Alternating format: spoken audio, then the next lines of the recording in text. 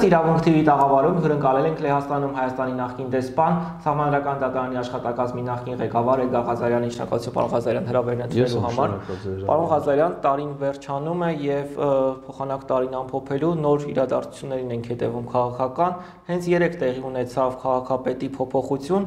ընդ որում այս իշխանությունն ասում էր, որ ամեն ինչ որոշելու է ժողովուրդը, սակայն ստացվեց, որ ով է լինելու քաղաքապետը որոշեցին ընդամենը 44 ավականու անդամներ։ Ինչ կասեք այս գործընթացի մասին։ Ես վստահ եմ, որ այդ 44 ավականու անդամներից ոչ մեկը այդ որոշման հետ ոչ մի կապ չունի եւ նրանք ընդամենը իրագործել են այն որոշումը, որը կայացրել է մեկ մարդ։ Լավագույն դեպքում տիկնոջ հետ միասին։ Նրանք ընդհանրապես դերակատար չեն այդ հարաբերություններում եւ այն ինչ որ տեղի ունեցավ 3 Երևանի ավականիում, այն է մեր մայրաքաղաքի հավաքանիում, այն է հանրապետության ամենամեծ համայնքի հավաքանիում, դա վկայություն էր այն բանին, որ Հայաստանում տեղական ինքնակառավարման համակարգի հիմնադրման 25-րդ տարում տապալվեց տեղական ինքնակառավարումը վերջնականապես։ Մեր երկրի սահմանադրությամբ եւ տեղական ինքնակառավարման եվրոպական խարտիայով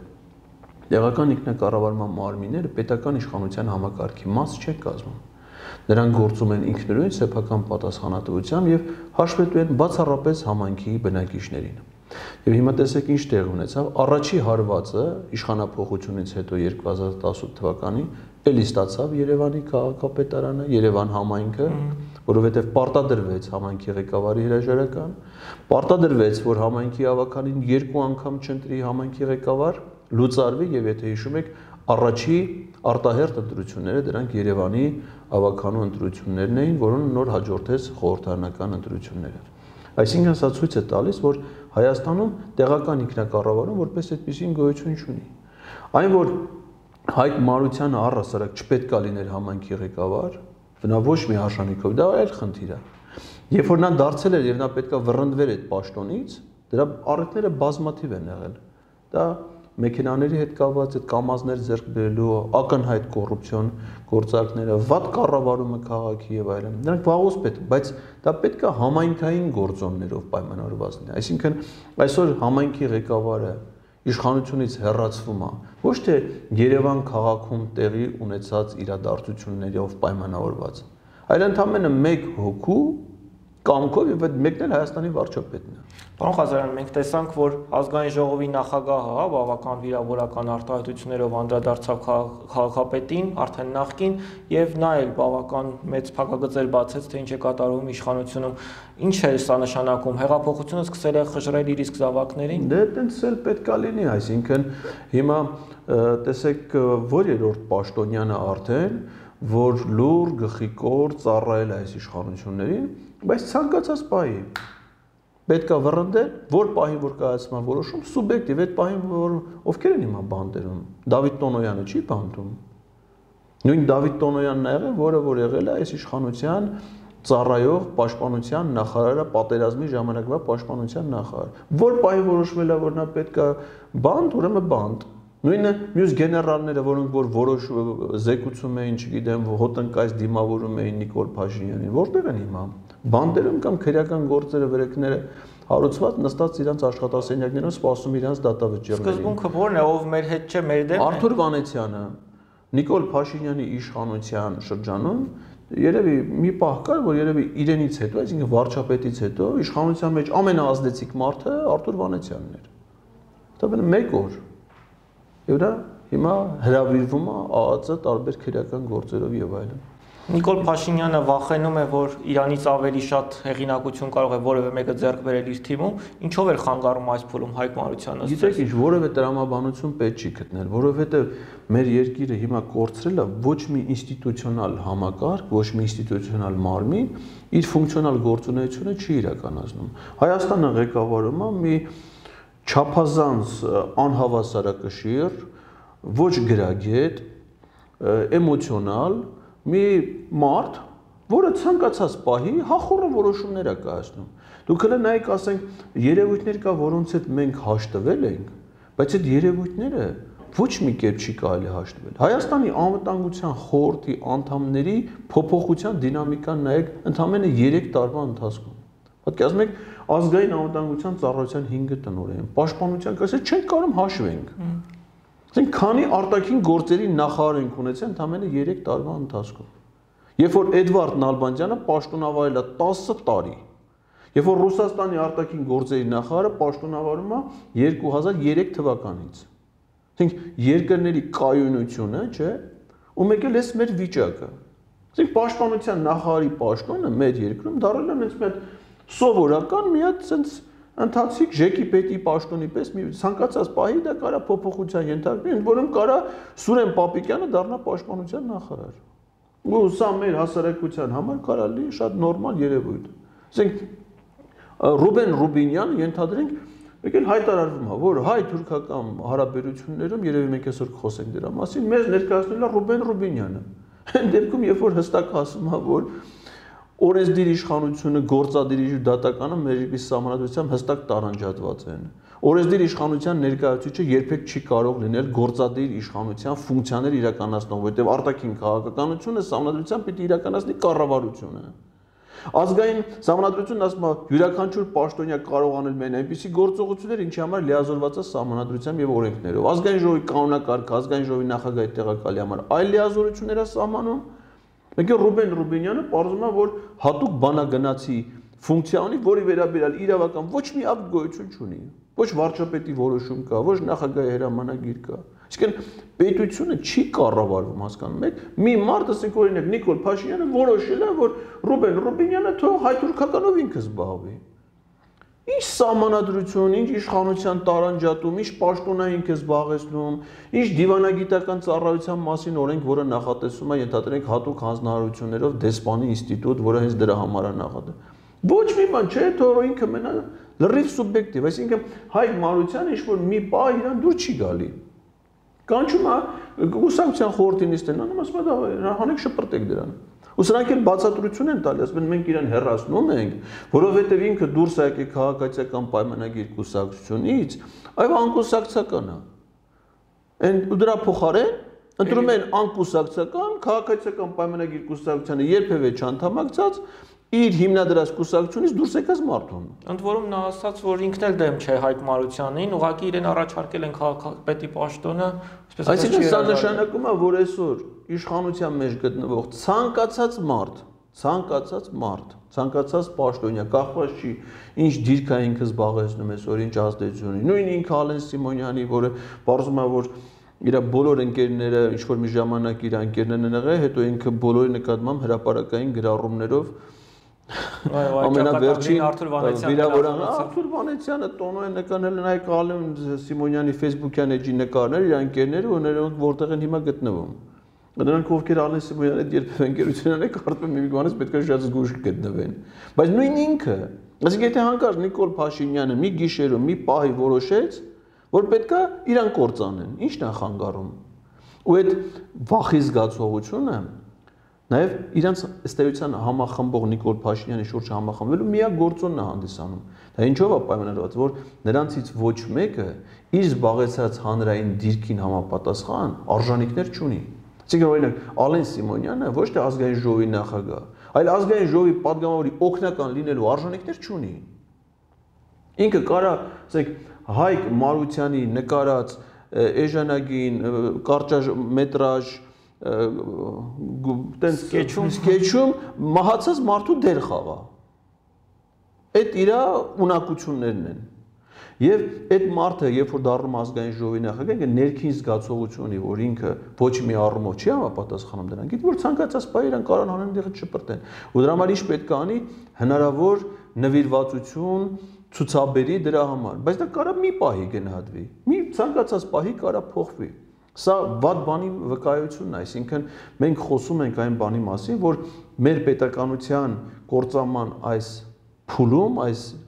չի գործում հանրային իշխանության, հանրային կյանքի կազմակերպման որևէ ինստիտուտ։ Տեղական ինքնակառավարում։ Հենց այսօր երկրում ընտրություն է կազմակերպել ու չգիտեն թե ով է ընտրվել փարակար խոշորացված համանքի ղեկավար։ Հիմա երկու հոգի այնտեղ իրանց հրճակում են համանքի ղեկավար։ Ասեք, դες բան երևի մարդկության պատմության ընթացքում ոչ մի երկրում, ոչ մի ժամանակաշրջանում չի ելել, որ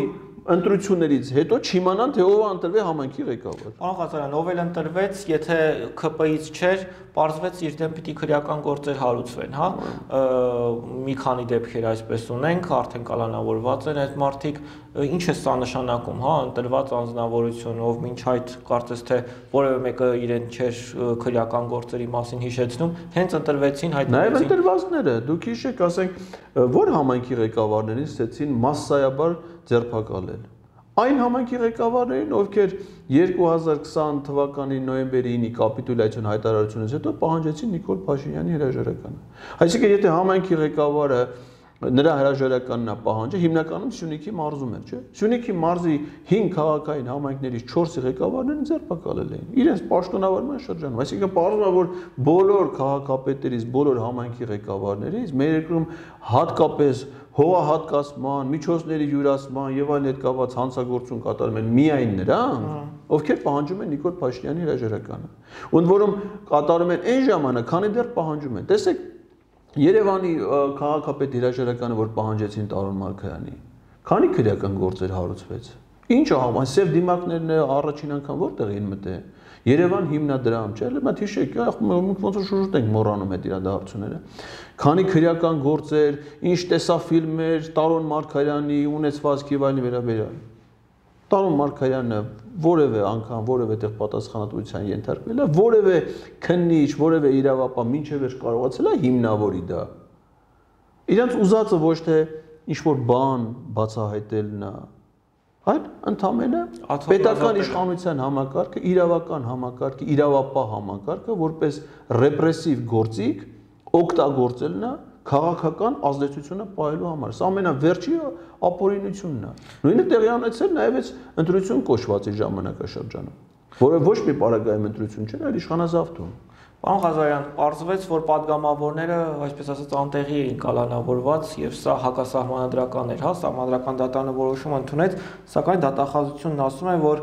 սահմանադիր կամքի խեղաթյուրման վտանգ են տեսնում այդ որոշման մեջ։ Ինչ է սա նշանակում։ Ի վերջո մեր երկրում կարևորը սահմանադրական դատարանն է, թե դատախազի, այսպես ասած, կարծիքը։ Ուրեմն դատախազը միակ բանը, որ պետք է հայտարարեր սահմանադրական դատարանի որոշումից հետո,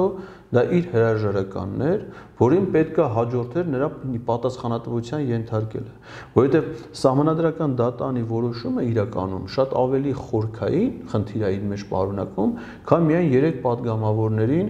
ըստ համանդրության ազատություն ապարգևել է, որովհետև ստացվում է, որ երեք падգամավորներ չեն մասնակցել, հնարավորություն չեն ունեցել ապօրինաբար, այսինքն համանդրական դատանի որոշումից հետո վստահ կարող ենք ասել ապօրինաբար հնարավորություն չեն ունեցել մասնակցել ազգային ժողովի աշխատանքներին իրականացնել իրենց ֆունկցիաները։ Իսկ ազգային ժողովը դա կոլեգիալ մարմին է, այսինքն այդ մարմինը կարող է համարվել լեգիտիմ ֆունկցիոնալ գործող, եթե ողջ կազմը ի վիճակի է մասնակցել դրա աշխատանքներին։ Եթե նույնիսկ մեկ падգամավոր ոչ իր կամքով չի կարողանում մասնակցել, որտեղ համազգության ասում է падգամավորը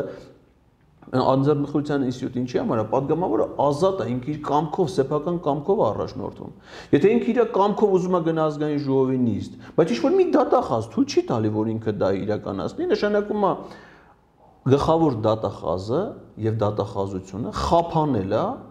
8-րդ գումարման ազգային ժողովի գործունեությունը։ Հիմա կարող ենք վստահ ասել, որ 8-րդ գումարման ազգային ժողովի բոլոր որոշումները, ընդունված օրենքները, մինչև համանդրական դատանի որոշումը կայացված բոլոր որոշումները, օրենքները, դրանք ոչ լեգիտիմ են, որովհետև ազգային ժողովը կայացրել է ոչ ամբողջական կազմով։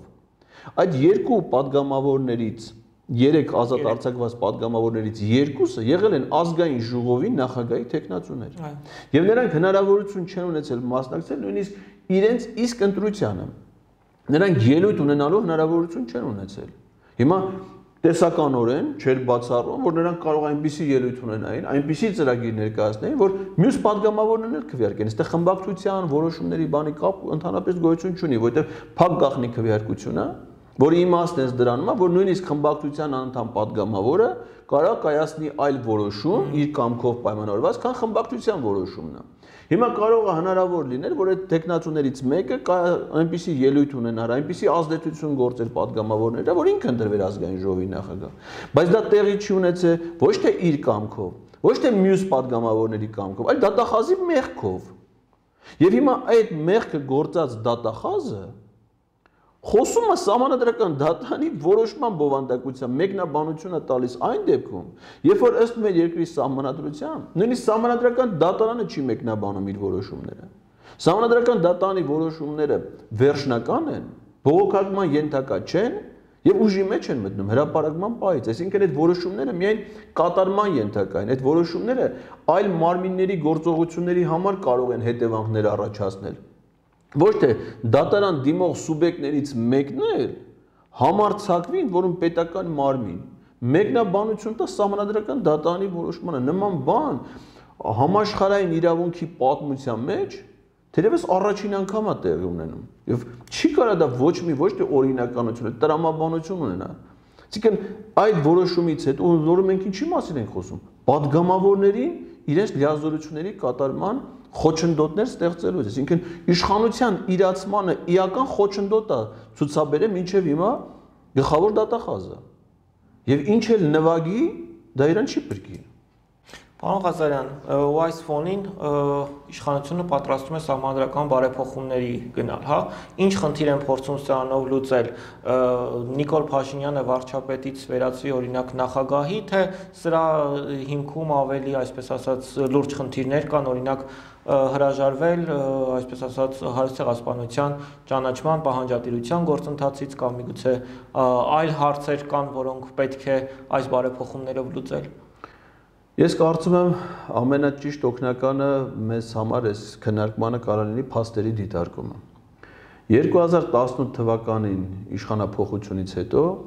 այս իշխանությունները մշտապես խոսել են սահմանադրությունը փոխելու անհրաժեշտության մասին։ Մշտապես իրականացրել են գործընթաց սահմանադրությունը փոխելու համար եւ նրանցից ոչ մեկը չի եղել ազնիվ, ոչ մեկը չի ունեցել պետականության միտված բովանդակություն։ Բոլորը եղել են սուբյեկտիվ, բոլոր գործընթացները ունեցել են պետությունը քանդելու վերջնահարցունք, հետևանք։ Փաստերով Սկզբից սկսեցին համանդրական փոփոխություններ, հանրակրվեի օր նշանակեցին, հետո էլ տապալեցին։ Նախագիծ դրեցին շրջանառության մեջ, տապալեցին, ինչի համար։ Պետությունը շենացնելու, զարգացնելու, ինստիտուցիոնալ բարեփոխ։ Ոչ, ընդամենը հրայր Թովմասյանին Սահմանադրական դատարանի նախագահի պաշտոնից հեռացնելու նպատակով։ Ինչպես նաև մի քանի դատավորների, այնքան թվով դատավորների, որ հնարավորություն կտար նոր դատավորների ընտրելով ազդեցություն ունենալ սահմանադրական դատարանի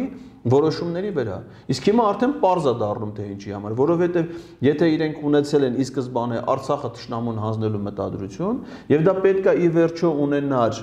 դեռևս չունի մինչև հիմա, mm պայմանագրա իրավական ձևակերպում միջազգային պայմանագիր, սահմանադրական դատարանը պետք է տար համաձայնություն, դա սահմանադրության համապատասխանության վերաբերել։ Գործընթացում 3 դերակատար կա. կառավարություն, որը որ ստորագրում է համաձայնագիրը, սահմանադրական դատարան, որը տալիս է համապատասխանության եզրակացություն, ազգային ժողով, որը վավերացնում է։ Կառավարությունը զավթված է, ազգային ժողովը զավթված է, միակ խանգարող այդ շղթայի մեջ օղակը մնում էր Հրայր Թոմասյանը եւ այն օբյեկտիվ դատավորները, որոնք որ որևէ պարագայում վստահ են, որ այդ որոշումը չէին կայացնել, այսինքն Արցախը ճշնամուն հանձնելու գործընթացը հնարավոր է տապալվել։ Դրա համար 2020 թվականի համանդրական փոփոխություններ կոչվածի իմաստ եղել այն, որպեսզի այս օղակում նույնպես ունենան վերահսկողություն։ Տապալեցին հանրակրվեն մի շատ པարզ պատճառով այդ կորոնավիրուսը դա բացարձակ դրա հետ ոչ մի կապ չուներ, կյանքը ցույց տվեց, որ արտակարգ դրությամբ, այնպես կարանտինի պայմաններում բազմաթիվ ընտրություններ կազմակերպեց։ Եթե թե հիմա Հայաստանում անցկացվեցին տեղական ընտրություններ, երբ որ կարանտինը մինչև հունիսի 20-ն է սահմանված։ Այսինքն դա դրա հետ ոչ մի կապ չուներ։ Ուղղակի տեսան, որ սա հանրակրվեն ընդհանրապես այսպես է։ Ոչ միայն պետք են կողմ ձայներ առավելը, այլ կողմ ձայների քանակը պետք է ընտրողների ցուցակային թվի 25%-ից պակաս չլինի։ Իրենք հասկացան, որ հանրակրվեվ այդ խնդիրը չեն կարող լուծեն տապալեցին հանրակրվեն, առաջ բերեցին հայ ժողովրդի մեծանուն զավակ Վահագն Հովակիմյանի հեղինակած նախագիծը, որը այդ պահին սովորում էր Մովսես Խորենացու համասարանի իրավագիտության ֆակուլտետի բակալավրիատի 3-րդ կուրսում,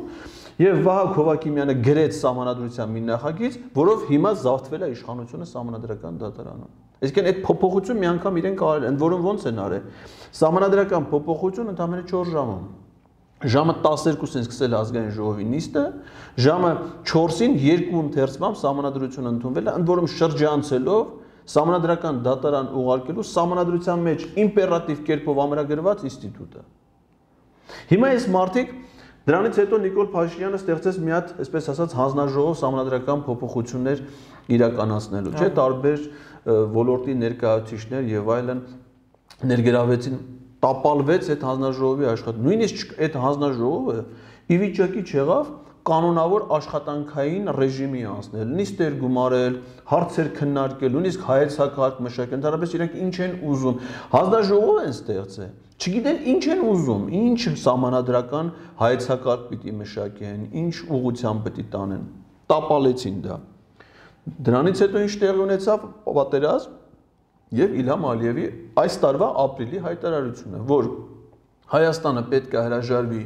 Թուրքիայից իր բոլոր պահանջներից եւ փոխի իր սահմանադրությունը։ Իսկ Թուրքիայի, ոչ թե Թուրքիայի, այլ ցեղասպանության պահանջատիրությունը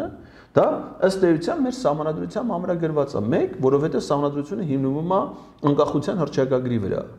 Իսկ անկախության հռչակագրում այդ խնդիրը շատ հստակ է ձևակերպված։ Սա մեկ եւ երկրորդը հիմիկված համանդրությունը նախատեսում է, որ Հայաստանի համանդրա տարածքի ցանկացած փոփոխություն պետքա տեղ ունենա հանրակրվեով։ Իսկ հիմա Նիկոլ Փաշինյանը ակնհայտորեն իրականացնում է մի գործընթաց եւ Թուրքիայի հետ հարաբերություններում եւ Ադրբեջանի հետ հարաբերություններում, որոնցով փաստացի մեր երկրի սուվերեն տարածքը հանձնված է ադրբեջանցիներին, ասենք սա ոչ թե հնարավոր է որ դա անեն, այլ դա փաստ է, այսինքն Երևան Մեղրի միջպետական ավտոճանապարհի առնվազն երկու հատված այսօր վերահսկվում է Ադրբեջանի զինված ուժերի սահմանային ծառայության մասը ասում է որ այդ սահմանադրական բարեփոխումները նույնիսկ Նիկոլ Փաշինյանի կամքը չէ, այլ Ալիևի կամքը։ Դա պահանջ է դա ուղիղ պահանջ է մարդը ապրելին ասել է որ հայերը պետքա փոխեն սահմանադրություն դրանից հետո Նիկոլ Փաշինյանը ստորագրել է որոշում ստեղծելու սահմանադրական խորհուրդ որ փոխեն սահմանադրությունը որ Նիկոլ Փաշինյանը կատարում է Ալիևի բոլոր պահանջները դրանում էս մի դրվագը չի որ պետքա մտածել որ դա այդպես է Իլամ Ալիև ասաց պետքա հրաժարվեք Լեռնային Ղարաբաղ եզրույթից Լեռնային Ղարաբաղի հանրապետություն եզրույթից իշխանական որևէ ներկայացուցիչ դուք տեսել եք, որ փորձի գործածել Լեռնային Ղարաբաղի Հանրապետություն արտահայտությունը, չկա նման բան։ Կառավարության գործնեության ծրագրում Լեռնային Ղարաբաղի Հանրապետություն հասկացություն չկա։ Ազգային ժողովը երբ նոր ձևավորվեց, ընդդիմություն է ստեղծել Արցախի հարցերով հանձնաժողով հրաժարվեց իշխանությունը կողմ քվեարկել։ Նախաձեռնություն եղավ արտաքին հարաբերությունների հանձնաժողովը անվանափոխել արտաքին հարաբերությունների եւ Արցախի հարցերի հանձնաժողով նորից դեմ քվեարկեցին։ Կառավարության գործնեության ծրագրում ոչ միտեղ գրաշի Արցախի հանրապետություն եզրույթ կատարեց այդ հանձնարարությունը։ Ալիևը հայտարարեց, ասաց Հայաստանյան ոչ մի պաշտոնյա չպետք է աշխատանքային կամ պաշտոնական բնույթի այցելություն կատարի Լեռնային Ղարաբաղ։ Արտաքին գործերի նախարար Արա Այվազյանը գնաց Արցախ, նրան հերացրեցին պաշտոնից, նույնիսկ կառավարության հրաժարական տված ժամանակ, այսինքն հրաժարական տված պաշտոնյային հրաժարական, այսինքն կրկնակի հրաժարականով նրան վռնդեցին իշխանական համակարգից։ Վերջերս պաշտպանության նախ, նախկին նախարարը չեմ հիշում, Արշակ Կարապետյանը, այցելություն համարցակություն ունեցավ այցելել Արցախ, որում որպես պաշտպանության նախարար առաջնագիծ, այնտեղ հանդիպում եւ այլն, վերադարձ երկու շաբաթ հետո պաշտոնանկարվեց։ Հիմա էս էլ էս մի հանձնարարությունն ասում, փոխեք ձեր սահմանադրությունը։ Պաստորեն կարող ենք ասել, որ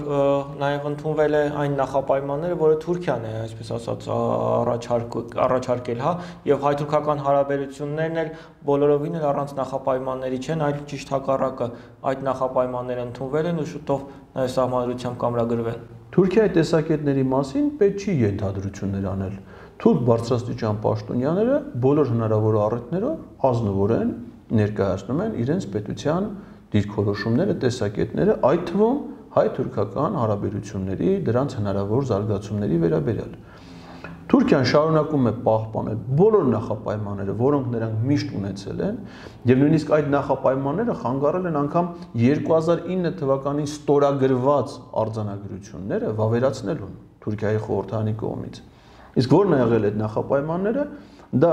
առաջին հերթին Ադրբեջանի տարածքային ամբողջականության ճանաչումն է Հայաստանի կողմից, ինչը նշանակում է, որ Արցախը պետք է ամբողջությամբ հանձնել Ադրբեջանին, եւ երկրորդը հայոց ցեղասպանության միջազգային ճանաչման եւ դատապարտման գործընթացից այդ քաղաքականությունից հրաժարվելը։ Այս ժամանակաշրջանում պատերազմից հետո առաջ է եկել երրորդ նախապայման, այսինքն այն երկուսից իրանք ընդհանրապես չեն հրաժարվել, դրանք շարունակում են պահպանել, մտածելով որ հիմա լավագույն շրջանն է դա առաջ մղելու համար, Ավելացել է նաև երրորդը, որ պիտի Հայաստանը անխափան կապ ստեղծի, միջավայր ստեղծի ֆիզիկապես Ադրբեջանի եւ Թուրքիայի միջև ուղիղ ցամաքային կապ ստեղծելու նպատակով, ինչը որ հիմա իրականացում այսպես կոչված տրանսպորտային ապաշրջափակում անվան տակ, որ իրականում մեզ հետ ոչ մի առողջություն չունի, այսինքն ակնհայտ է, որ մենք որևէ բեռ այդ երկաթուղիներով չենք տեղափոխելու, դա ընդհանրապես Ադրբեջանը Թուրքիային կապող միջավայրի, աշխարհագրական միջավայրի ձևավորումը։ Սա էլ երրորդ նախապայմանն է։ Հիմա այդ մարտիկ իրենց նախապայմաններից չեն հրաժարվում։ Հակառակը նորն են առաջ քաշում։ Եվ այս պայմաններում Հայաստանն է նախաձեռնում հարաբերությունների զարգացում Թուրքիայի հետ։ Այսինքն Թուրքիան էլ չի նախաձեռնողը։ Չկան միջազգային նախաձեռնողներ, միջնորդներ այդ գործընթացում։ Պարզվում է, որ Հայաստանի իշխանությունը ինքը առիթներ է ստեղծում, նախաձեռնություններ է ցուցաբերում Թուրքիայի շփումների համար։ Հիշեք պաշտոնական հաղորդագրությունը թուրքական կողմից, որ Վրաստանի վարչապետի միջոցով Հայաստանի վարչապետը իր Վրաստան կատարած այցի ժամանակ խնդրել է միջնորդություն այդ հանդիպման համար, որը թուրքական կողմը չի ընդունել։ Դրանից հետո սկսում է այս նոր գործընթացը, որ հայտարարում է ինչ որ բանագնացների մակարդակով շփումների մասին, որը ոչ մի պայմանագրաիրավական կամ պաշտոնական ֆորմալ հաստատում չունի։ Նոր քիչ առաջ հետ էի ասում, որ գոյություն չունի, ենթադրենք վարչապետի որոշում Ռուբեն Ռուբինյանին հատուկ հանձնարարություններով դեսպան նշանակելու մասին, բայց արտաքին գործերի նախարարի խոսնակը Հայաստանում հայտարարում է, որ հայկական կողմից այդ գործընթացը վարելու է Ռուբեն Ռուբինյանը, այսինքն կա գործընթաց կամ պետքա լինի մի գործընթաց։ Եվ ինչին է միտված այդ գործընթացը։ Ինչին է ուրա դա տանելու։ Եթե դա պիտի տանի դիվանագիտական հարաբերությունների հաստատմանը, սահմանների բացմանը, ապա դա արդեն տեղի ունեցել 2009 թվականին։ Այսինքն դրանից ավել հնարավոր չի, որ իրանք ավելի մեծ հաջողություններ փորձեն ունենալ, քան ինչ որ եղել է 2009 թվականին։ Իսկ 2009 թվականին հաջողություն կոչվածը ստեյցիան զախողում էր, որովհետև այդ արձանագրությունները չնայած ստորագրվեցին, բայց չվավերացվեցին եւ չվավերացվեցին Թուրքիայի կողմից։ Եւ Թուրքիան ակնհայտ էր, որ դա չվավերացվեց Ադրբեջանի ճնշումների ներքո։ Եվ հիմա էլ Թուրքիայի արտգործ նախարարը հայտարարել է, որ հայ-թուրքական գործընթացի ցանկացած դետալ, ցանկացած դրվագ համաձայնեցվելու է, ոչ թե տեղյակապահվելու է, այլ համաձայնեցվելու է Ադրբեջանի հետ։ Այսինքն ըստ էության հայ թուրք-ադրբեջանական տանդեմը շարունակում է գործել, ինչպես դա եղել է նախապատերազմյան շրջանում, ինչպես դա եղել է ռազմական գործողությունների շրջանում եւ հիմա էլ հետ պատերազմյան շրջանում։ Այսինքն նրանք այդ երկու պետությունը որպես միասնաբար հանդես են գալի եւ իրենց արժեվ կանգնած է իրենց կողմից նսեմացված, ստորացված, խեղճացված, անպաշտպան, անմրցունակ Հայաստանի իշխանությունը։ Ժամանակին իշխանությունը կամք դրսևորեց եւ գրողի ծոց ուղարկեց, հա, այդ արձանագրությունները, որոնք եղան։ Հիմա ըստ էության ճիշտ հակառակն է լինելու այս գործընթացը որևէ կերպ կանխելու միջոց կա թե ոչ, որովհետեւ ժողովրդի ականջը պարզապես շոյում են, հա, որ շուկա է բացվելու, առևտուր է լինելու, լավ է կապրելու։ Նման բաներ չի կարա գոյություն։ Գիտեք ինչ, կարող են ժողովուրդները, պետությունները անգամ ծանր անցյալից, պատերազմներից հետո հաշտություն կնքել, բարեկամություն հաստատել նման նախադեպերը շատ են։ Վերջո երկրորդ համաշխարհային պատերազմից հետո եվրոպական երկրները որոնք պատերազում են եւ ամենադաժան անմարտկային վերաբերմունքով ոչնչացնում են միմյանց, հիմա նրանք մեկ միության կազմում են, մեկ ռազմաքաղաքական դաշինքի կազմում են նրանց մեծ մասը, չէ՞, դա հնարավոր է նման բան, բայց դա հնարավոր է այն դեպքում, երբ որ երկու կողմից կա նույն տրամադրությունը, նույն ցանկությունը։ Եթե Թուրքիան եւ Ադրբեջանը մինչեւ հիմա շարունակում են թշնամական վերաբերմունք ունենալ մեր պետության, մեր ժողովրդի նկատմամբ, այս միջավայրում բարեկամություն հնարավոր չի։ Այս միջավայրում հնարավոր է, որ դու ուղղակի հնարավորություն տաս իրեն քեզ ավելի շատ կոտորեն, ավելի շատ ոչնչացնեն եւ ավելին զավթեն քո տարածքից, քան իրենք կարող էին մինչև հիմա դանել։ Այսինքն այս պահը հիմա հայ-թուրքական գործընթացի հայ-ադրբեջանական բարեկամության կոչվածի խաղաղության, այսպես ասած, օրակարգի, սա վատագույն շրջանն է Հայաստանի համար։ Վատագույն, այսինքն ես չեմ բացառում, որ ինչ-որ ժամանակաշրջանում հնարավոր է, բայց դա հնարավոր է այն դեպքում, երբ որ իրենց հասարակության ներսում, իրենց իշխանության մեջ տրամադրության, հայերի, հայ ժողովրդի հանդեպ տրամադրության փոփոխություն լինի։ Իրենք շարունակում են նույն ճշնամական տրամադրությամբ, ինչա փոխվել ընդամենը 1 տարի առաջ թուրք ինսպեկտորները Ադրբեջանում նստած կառավարում էին բայրակտարները եւ մյուս անօթաչու թռչող սարքերը, որոնց հարվածներից, որոնց ռազմական գործողություններից զոհվել է ավելի քան 5000 մարդ։ Հիմա ի՞նչ է, այդ միամիտ մարդիկ մտածում են, որ այդ 5000 մարդու այրունը նրանց հանգստացրել է եւ այն տարածքները, որ նրանք զավթել են, նրանք այլևս բավարարված են, գոհ են եւ հիմա պատրաստ են մեր հետ բարեկամություն։ Դա ուղղակի պետքա, չգիտեմ, էլի ինչ աստիճանի պրիմիտիվ մարդը մտածողություն ունենա, որ այս իրողությունները տեսնելու պարագայում դրան հավատա։ Արամ Զավենչ Սարգսյանն ասում է, որ ահռելի թուրքական շուկա է բացում եւ պետք է մտածենք, թե մենք ինչ ենք վաճառելու, այլ ոչ թե թե մեզ ինչ են անելու ինչ կասեք այս մասը։ Արամ Զավենի Արամ Զավենի Սարգսյանը տաղանդավոր մարդ է, որովհետեւ նա 20 տարուց ավել է մեր հասարակական կյանքում ակտիվ դեր ունի, սկսած վարչապետի պաշտոնից հետո։ Եվ հələ այսքան ժամանակ նա ոչ մի իմաստ արտահայտում միտք չի կարողացել արտահայտել, էլի, այսինքն դա բացառիկ ունակություններ են պետք, որ դու ակտիվ հասարակական կյանքով ապրես ու մի հատ խելքը գլխի մի չկարողանաս արտահայտես։ Ուտես մարդկանց հիմա չի կարելի ընդհանրապես հղումներ անել, էլի, դրանք ոնց ասեմ, այդ մարդիկ են, որ ամենամեծ վտանգն են նաև ներկայացնում հասարակության մեջ, որովհետև իրանց չելած տեղով փորձում են դրամատրություններ ստեղծեն։ Տեսեք, դուք ասում եք Արամ Զավենի Սարգսյան, չէ՞։ Իսկ Արամ Զավենի Սարգսյանը ով է։ Ասենք ինքը ոնց է հայտնվել մեր հանրային կյանքում։ Հոկտեմբերի 27-ից հետո, մինչև հոկտեմբերի 27-ը հայ հասարակության մեջ մի մարդ դրա անունը լսել է,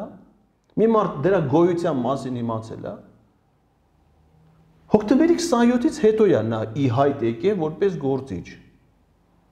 Նա ով է, որ ընդհանրապես նրա տեսակետը դառնա քննարկման առարկա։ Մինչև հիմա նրա արտահայտած տեսակետն է, որ պիտի ուտի Եվրատեսիլի մանկական Եվրատեսիլի մասնակիցներին։ Իդեպ այս տարվա միակ հաղթանակը կարծես Եվրատեսիլն էր, արժե սրանով մխիթարվել եւ Էդ էլ էդ էլ պրիմիտիվության մեկ այլ դրսևորում է։ Հիմա մանկական Եվրատեսիլ եւ Եվրատեսիլ առասակ դա մրցույթ էլ չի, դա մի ոնց ասեմ, հերոստատեսային շոու ծրագիր է։ Ասենք պոլի չուդես, ոնց որ հիմա մի հատ հայ մասնակից Պոլե ճուդեսում բոլոր տարրերն ասի, ինքը հաղթի ու մենք ազգովի երրագույն դրոշը վերցնենք ու սկսենք ուրախանալ, որ մեր հայ մասնակիցը ռուսական հերոստաշոուներից մեկին հաղթել է։ Հիմա տեսեք ինչ ցածր որակ է էլի մեր ընդհանուր հասարակական տրամադրություններում, ինչն ենք մենք հաղթանակ համարում, ինչն ենք մենք կորուստ համարում։ Այս ամեն ինչի ֆոնի վրա ինչ հերոստաշոյի հաղթանակի մասին է խոսքը, ինչ կապ ունի դա, ինչ Հայաստան, ինչ հայի, եվրոպական երկրները սկի դրան չեն մասնակցում։ Եվրոպայում 50-ից ավել երկիր կա այդ շոուին մասնակցել ընդամենը 19 այդ թվում Ղազախստանը ինչն են դարձրել իրանց ուրախանալու առարկա, հաղթան մեկն ասում է, սա մեր հետագա հաղթանակների սկիզբը պիտի լինի, ես ինչ ինչի հետ են համեմատում, եր երկիրը ավերել են այսքան սքի, այսքան ողբ մինչև հիմա։ Մինչև հիմա սառնարաններում հայրենիքի պաշտպանության համար զոհված մարդկանց մասունքներ կան։ Ոչ մեկ դրա մասին չի խոսում։ Մինչև վերջերս ամենօրյա ռեժիմով հուղարկավորությունները մեկի մասուկները իդենտիֆիկացնում են, չգիտեմ, կամ Արցախի փրկարարները մի նոր մասունք են հայտնաբերում։ Մինչև հիմա թաղումները պատերազմից այսքան ժամանակ անցել է։ Ոչ մեկ դրա պատասխանը չի տվել։ Ոչ մեկ դրա պատասխանատվությունը չի կրել։ Ոչ մեկ այդ ողբը չի ապրում։ Այսօր մենք մեր հայրենիքը ամեն ինչի նկատմամբ ասես շատ հանգիստ վերաբերմունք ունենք։ Պարոն Ղազարյան, համաձայն եք, որ այս կորցանար ընթացքը որևէ մեկը չի էլ խոչընդոտում, չի էլ կարողանում փրկել, կանխել։ Ի վերջո, ո՞րն է ելքը, հա, ինչպես ենք դուրս գալու այս վիճակից, թե այսպես ինքնահոսի թողնելու ենք, որ ինչքան կորցանվում է, թող կորցանվի։ Մենք հիմա մի երկգոյություն ունի։ Հələ դա parzել չի, ասենք, թե դա արդյոք կարա մեզ համար փրկություն հանդիսանա թե չէ։ Այս իշխանությունը վարկյան առաջ պետքա վռնդվի մեր հանրային կյանքից ընդհանրապես։ Մենք սրանց շողքը չպետք է տենանք։ Մենք սրանց պետքա մոռանանք ընդհանրապես այս ողբերգությունը, այս 3 տարին, այս 3.5 տարին, որ մենք ապրել ենք այս սրանց իշխանության ժամանակաշրջանում։ Ինչպես եթե ոչ փողոցով է ստացվում, ոչ խորհրդարանով։ Չպետք է, փողոցին չպետք է գնալ։ Ի վերջո իշխանության փոփոխության համար պարտադիր չէ, որ Հայաստանի բոլոր բնակիչները իրենց գործը թողնել են նույն փողոցները։ Ես չգիտեմ ինչի են մարդիկ մտածում, որ իշխանության փոփոխության միակ միջոցը դա հանրապետության հրապարակում 200.000 բան հանրահավաքի կազմակերպումն է։ Այսինքն թեկուզ 200.000 հոգանոց հանրահավաք լինի։ Հետո ինչ պիտի լինի, ինչ անես, հանրահավաքը հանրահավաք է, չէ՞, իշխանության փոփոխությանը դա ինչ կապ ունի։ Եթե մի անգամ ստացվել է այդ անառողջ եղանակով այս իշխանազավթում իրականացնել։ Դա ხო չի նշանակում, որ դա է իշխանության փոփոխության մեխանիզմը։ Այս վերջերս երկրներից մեկում, եթե չեմ սխալվում, Ավստրալիայում էր, վարչապետը հայտարարեց մի 14 տարեկան երեխա էր կորե։ Ասած եթե երեխուն մենք չգտնենք, ես հրաժարական կտամ։ Եթե բերեսում եմ պետք վարչապետ, եթե մեր քաղաքացին կորում է, մենք ամբողջ երկրով չենք կարողանում գտնենք։ Ավստրիայի վարչապետը հրաժարական տվեց մամուլում իր հասցեին կոռուպցիոն ինչ որ մի սկանդալային հոդվածի հրապարակման առիթով ոչ քրեական գործը հարուցվել, ոչ ինքը մեղադրյալ է, ոչ ապացուցվել է, որ դա տենց է, բայց նա ասում է, եթե հասարակության մեջ թեկուզ մի փոքր մարդ շրջանակներում իմ հանդեպ անվստահություն կա, ես ոնց կարող եմ այլ որոշումներ կայացնել, նշանակում է նաև այդ որոշումների հանդեպ կլինի անվստահություն, չէ՞։ Իսկ ասենք Ալեն Սիմոնյանը, որը մի 100 քանի հազար դոլարի ճամփորդել է այս տարվա ընթացքում, 200.000 դոլարանոց մեքենա է առել իր համար, դեռ չեն հրապարակում, թե քանի 100.000 դոլարա ծախսվե ամառանոցը, առանձնատունը վերանորոգելու համար, որ ինքը պիտի գնա այդ առանձնատանը ապրի, Հələ բացի դրանից որ ծղրտում է, մի հատ էլ հələ վիրավորում է այլ գործիչների եւ այլն։ Խաչատուրը տվեց դրա պատասխանը, ասում է հո ազգային ժողովի նախագահը էշով չէր ման գալու այսինքն նորմալ է, հա, այդ գնով մեքենա։ Չասեմ էլի, հա։ Խաչատուր Սուքյասյանը, որ ազգային ժողովում լինի, արդեն նաև կարող նաև խոսի, չէ՞։ Իսկ ինչ գործ ունի Խաչատուր Սուքյասյանը ազգային ժողովում, եթե այս ամբողջ փոփոխությունների իմաստը են, որպեսզի օլիգարխները, չգիտեմ, կասկածելի ցակում ունեցող գույքի սեփականատերերը եւ այլները չդառնան քաղաքական որոշումներ կայացնողներ։ Դե որ Խաչատուր Սուքյասյանը լինի ազգային ժողովում, Դե նա էլ կարա խոսի, էլ ազգային ժողովն էլ խոսալու համար է։ Պարոն Ղազարյան, ընդդիմությունն էլ միակ բանը, որ կարողանում է անել, մերժելն է հանդիպելը Նիկոլ Փաշինյանի հետ փակդռների հետևում, հա, այսօր հայտարարեցին, որ իրենք չեն գնալու այդ հանդիպմանը, նույնիսկ չգիտեմ բովանդակությունը ինչ պիտի լիներ այդ հանդիպման, երևի հետագա բանակցությունների վերաբերյալ, թե այլ մտադրություններ Նիկոլ Փաշինյանը։ Ի վերջո ինչ կարող է անել ընդդիմությունը եւ Եթե փակ դեռների հետևում էլ չէ, ինչպես ենք իմանալու ի վերջո ինչ է այս իշխանության գլխում հիմա մտորվում։ Նախ ես չգիտեմ ինչ հանդիպման մասին է խոսքը, ինչ ձևաչափում պետքա լիներ այդ հանդիպումը, ինչ հարցեր պետքա քննարկվեին եւ մասին ոչ մի բան չեմ։ Ընդամենը ասում եմ, որ Նիկոլ Փաշինյանը ուզել է հանդիպի ընդդիմության հետ։ Նախ ընդդիմություն եւ այլն իշխանություն այդ ամեն ինչը Նաև ֆորմատ ձևակերպումներում Նիկոլ Փաշինյանը վարչապետ է, որը վարչապետ է խորհրդարանական կառավարման երկրում, որտեղ իշխանության առաջնային կրողը պարլամենտն է։ Պարլամենտը ունի խմբակցություններ ձևավորված, եւ այդ խմբակցությունները այս տարվա նոյեմբերի 25-ին հրավիրել էին խորհրդարանական լսումներ, որը ի տարբերություն փակ դռների հետևում եւ այլն անհասկանալի ձևաչափով հանդիպումից ազգային ժողովի կանոնակարգ սահմանադրական օրենքով սահմանված ինստիտուտ է, հանրային հարցերը parlamentum քննարկելու համար։ Երբ որ Հայաստան դաշինքը նախաձեռնել էր խորհրդարանական լսումներ, սահմանազատման, սահմանագծման թեմայով եւ դրա հայտարարության տեքստը վերաբերում էր ավելի ընդգրկուն խնդիրների, ոչ միայն Նիկոլ Փաշինյանը, այլ նաեւ իր իշխանական խմբագրությունից ոչ մի падգամավոր падգամավորը խորհրդանական լսումներին չի մասնակցել։ Այն դեպքում, երբ որ խորհրդանական լսումների շահառուները падգամավորներն են, խորհրդանական լսումը կազմակերպվում այն նպատակով, որ հանրության տարբեր շերտերի ներկայացուցիչներ, գործիչներ, փորձագետներ, գան իրենց տեսակետները հայտնեն, падգամավորները դրանք լսեն եւ հիմք ընդունեն իրենց հետագա որոշումների, այսինքն շահառուները падգամավորներն են։ Ու բարձնա որ падգամավորները չեն գալի խորհրդանական լսումներին։ Այսինքն իրենք են մերժում երկխոսության։ Նիկոլ Փաշինյանը ուղղակի մի բան անում, ասում է՝ «Իմ հետ եկեք խոսալու այն ժամանակ, երբ որ ես ձեզ կանչեմ, խոսենք դրանից ինչ որ ես կուզեմ, ընտրություն կլինի այն ժամանակ, երբ որ ես կուզեմ, ընտրությանը կմասնակցեն նրանք, որին որ ես կուզեմ, հետո այսինքն Այստեղ բանավեճի, քննարկման, չգիտեմ, տեղեկության փոխանակման ոչ մի մտնոլորտ գոյություն չունի։ Այստեղ գոյություն ունի մի մարդ, որը իր չելած տեղով, չելած տեղով, Նիկոլ Փաշինյանը, ով է Նիկոլ Փաշինյանը, փողոցից եկած մի հատ կիսագրագետ մարդ։ Փորձում է թելադրել մեր հանրային կյանքի օրակարգը ու ղեկավարել մեր հանրային կյանքը։ Ղեկավարման հետևանքներ տեսնում ենք ինչա։ Պատերազմ, իր ողբերգական հետևանքներով եւ հանրային կյանքի պետական բոլոր ինստիտուտների կազմակերպում եւ պետականության կորուստ։ Եվ էլ այդ մարդ ասում է, հələ եկեք ինձ հետ նորից բաներ քննարկեք։ Միակ բանը, որ պետքա քննարկվի, դա իր հրաժարականի հարցն է։ Հրավիրում ասում է, եկեք ես ձեր հարցերին լրագրողներին հրավիրում, ասում է, եկեք ես ձեր հարցերին պատասխանեմ։ Միակ մարդը, որի հարցերին դու պիտի պատասխանես, դա ազգային անվտանգության ծառայության քննչական դեպարտամենտի քննիչն է։ Որտեղ այն ինչ որ դու մինչև հիմա արել ես, դա միայն այդ տիրույթում կարա, այդ հարթությունում կարա քննարկվի։ Ինչ հարց ու պատասխանի մասին է խոսքը, ինչ քննարկելու մասին է խոսքը։ Դա դու չես տեսնում, ինչի ես վերածե երկիրը։ Ինչ է ստացել 2018 թվականին Եվ ինչ կա հիմա լես չեմ ասում, թե ինչ կարա լինի յուրաքանչյուր հաջորդ օրը, որովհետև ինչքան ժամանակ է, մի տարուց ավել է, մենք աղաղակ, ես ինքս ասում եմ, այս իշխանության ամեն հաջորդ օրը աղետ է, Խոմ դες մեծ ցանկությունից չի որ ասում եմ, դա սովորական պրագմատիզմն է հուշում։ Ու մեկ է գալիս է, ես իրադարձությունն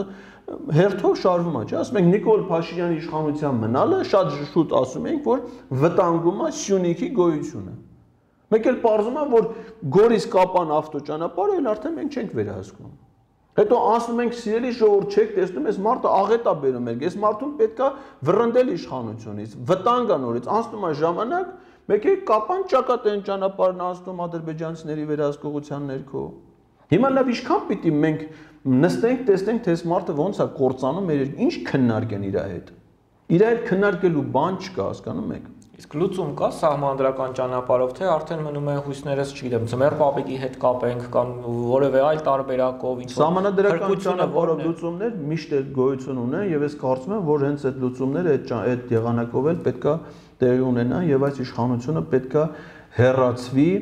դրանց պաշտոնավարման հնարավորություն չտան։ Ուղղակի ես կարծում եմ, որ մեր չի կարելի ասել անդիմադիր ուժերը, որովհետև եթե երկրում իշխանություն չկա, անդիմություն էլ ըստ էության չի կարա լինի։ Այն առողջ գաղափարական հասարակության մեր ժողովրդի համար մտահոգ եւ պատմության արժեվ իրենց ճակատագրական առաքելությունը զգացող պատասխանատվությունը ծող ուժերը պետքա իրականացնեն այլ քայլեր գործողություններ, որպեսզի հասցնեն այս իշխանության գիտակցությանը, որ իրանք պետքա հեռանան իշխանությունից։ Տեսնում եք այդ նշույլները եւ գալիք տարվա հետ կապված ունեք այդ լավատեսությունը թե ոչ, պարոն Ղազարյան, թե ի վերջո նույնիսկ այս սահմանադրական բարեփոխումներով Նիկոլ Փաշինյանին հաջողվելու է մի նոր սահմանադրություն կարել իր հակով եւ շարունակել այսպես եւս մեկ տարի։ Եթե նա մնաց իշխանության, իհարկե ամեն վատ բան կարելի է սпасել, ակնկալել, ոչ մի լավ բան։ Այսինքն հասարակական կյանքում ոչ տնտեսության մեջ, ոչ չգիտեմ, առողջապահության ոլորտում, ոչ կրթության ոլորտում, ոչ պաշտպանական ոլորտում, ոչ միջազգային հարաբերություն, ոչ մի լավ բան չի կարելի ակնկալել։ Ի վերջո, մարդիկ նաև իրենց ունակությունները ունեն, չէ՞, այսինքն ֆիզիկական, ինտելեկտուալ ունակությունների չափ գոյություն ունի, թե մարդը ինչ է վիճակի անել։ Հիմա ասենք, եթե ես մասնագիտությամբ տնտեսագետ եմ, ես չեմ կարող հավակնեմ տնտեսագիտության Նոբելյան մրցանակի արժանի գիտական հայտնագործության, չնայած որ փորձում եմ զբաղվել նաև գիտական հետազոտական գործունեությամբ։ Չէ, ասենք իմ ինտելեկտուալ ունակությունները իմ կարծիքով ինձ թույլ չեն տալի նման հավակնություններ ունենալ։ Հիմա այս մարդկանց ունակությունները իրենց չափ ունեն։ Ասենք օրինակ Ռուբեն Ռուբինյանը մինչև 2018 թվականի իրադարձությունը կյանքում ոչ միտեղ չի աշխատել, այսինքն նրա ինտելեկտուալ մարդկային կազմակերպական ունակությունները մի մարդու կողմից չի գնահատվել, որ ասեն հքես հravirում ենք մեր ընկերությունում աշխատանքի, մեր կազմակերպությունում աշխատանքի։ Թուրքիայում կուրսերի կուրսերը։ դա եղել է, բայց նույնիսկ այդ դեպքում չեն իրան ասում, որ գիտես ինչ, արի դու մեր ֆիրմայում աշխատի կամ մեր միջազգային կազմակերպությունում աշխատի, բան այսինքն նայում են դնում են պիտանի չի, այսինքն մի աղջիկ իրան չի սիրե, չի հավանել, այսինքն մեծ տղա է, բայց չի սիրվե որևէ մեկի կողմից, որպիսի ամուսնանա, ընտանիք ստեղծի, չէ։ Հիմա այդ ինքը անձնական չեմ ասում, անձնական, մասնագիտական եւ այլ։ Հիմա այս մարդը parzվում է 2000 ընդամեն 2018 թվից հետո իր առաջի աշխատանքի իր կյանքում կարալի արտաքին գործերի փոխնախարարի պաշտոնը, հետո դառնա ազգային ժողովի արտաքին հարաբերությունների հանձնաժողովին, ո՞ս կարա տես բան լինի։ Ես բազմաթիվ իմ գործընկերների, ընկերների, որոնք մասնավոր են, ասում եմ օրինակ Նիկոլ Փաշինյանը, եթե իր CV-ն ուղարկի ձեր ընկերություն ու գա ձեզ հետ հարցազրույցի, խնդրում եմ ձեռները դրեք, խղճին ասեք, դուք իրան գործի կվերցնեք թե չէ։ Ցանկացած պոզիցիայի վրա, ասենք օրինակ առաքիչ, տարածքի, ասենք Արաբկիրի եւ Մասիվի առաքիչ Նայում ես կենսագրությանը CV-ն ուղարկում է, ոչ մի տեղ չի սովորել, ոչ մի տեղ չի աշխատել, արտասահմանում չի ճամփորդել, գալիս է հարցազրույցի, արտակնապես տգեղ, բանը սուր ձայնով, կոնֆլիկտային բնավորության բան չէ, մի անգամ էս մարդկանցով գործի կվերցնի։ Հիմա այդ մարդիկ, որոնք որ սովորական ընկերությունում, ասենք ամենացածր պոզիցիայի վրա աշխատանք չեն կարող ունենան, մարդիկ մեր երկիրն են ղեկավարում։ Չի կարող այդ երկիրը նրանց ղեկավարության օրոք հաջողություններ ունենա, հասկանում եք, դա ուղղակի անհնար բան է։ Եվ այս հետևանքներն էլ ճշնամին ուղղակի տեսնում է այս վիճակը։ Ինչի Ալիևը սկսեց հենց հիմա պատերազմը սկսել հրահրել իրականացնել, որովհետև տեսա սրանից նպաստավոր միջավայր այլևս պատմության ընթացքում հնարավոր չի ստեղծել։ Ոնց նա չօգտվի այս իրավիճակից։ Եվ նրանք շարունակում են մեր ճշնամիները, հիմա թուրքերը ասում են մենք հայերի հետ դարավոր տշնամություն ենք ունեցել, ամբողջ կյանքում իրանց պատմության ընթացքում ինչքան իրանք ստեղծվել են հայերին տեսել են, իրանց հարաբերությունների կոնֆլիկտային է հայ-թուրքական բարեկամություն ոչ մի ժամանակաշրջանում չի եղել։ Հիմա ասում են հազիվ սրանք հայտնվել են այս վիճակում, սրանցից վերացնելու ուրիշ հնարավորություն մենք էլ երբ ենք ունենալու։ Երբ որ մեզ այդ բանակցողը պիտի լի Ռուբեն Ռուբինյան, այսինքն դրանից մեծ երազանք